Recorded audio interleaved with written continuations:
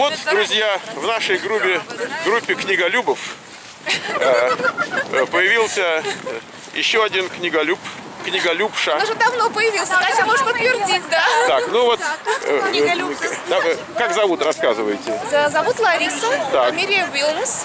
Чем занимаетесь? Э, Занимаюсь вообще много всем сразу. Свободное от чтения книг время. А, в свободное Да. работаю и хобби разными занимаюсь. Откуда вы приехали? Москвы. Ой, земляки, вы где жили? А, много где, на Мосфильмовской, на Ботаническом саду. Понял, понял. Хорошо.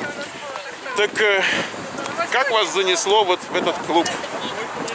В свое время меня Павлик пригласил с собой первый раз. Павлик и там был эм, Павлик, Да. который Нима, Пол Нима на Фейсбуке. Так. И э, там было как раз про Пелевина очень интересная презентация Миши Шинского у него дома. Да. Где мы встретились с замечательной собакой Пинотом, с которой мы полюбили друг друга просто сразу. То есть про Пелевина забыли. Девушки, идем мы вас снимем.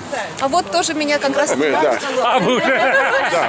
У меня техника более такая Да. совершенно. Вот может Катя тоже сказать. меня уже столько снимали.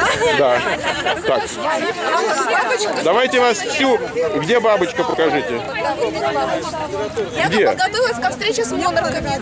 А, вы у вас вы в образе бабочки. Интуитивно уже. Понимаю.